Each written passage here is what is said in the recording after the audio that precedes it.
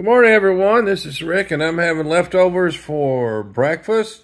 What is that? Well, we stopped at a Mediterranean Mediterranean restaurant called Algi's Palace in Madison, Alabama. and you are looking at hummus and baba ganoush. And there is a falafel, and there is toum. There's my falafel. This is pita bread.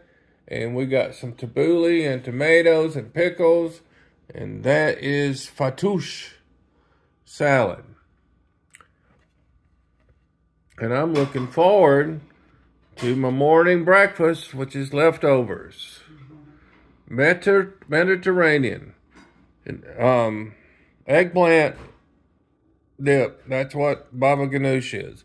You never had Mediterranean, had all this stuff, go out and try it at a restaurant. Thank you for watching.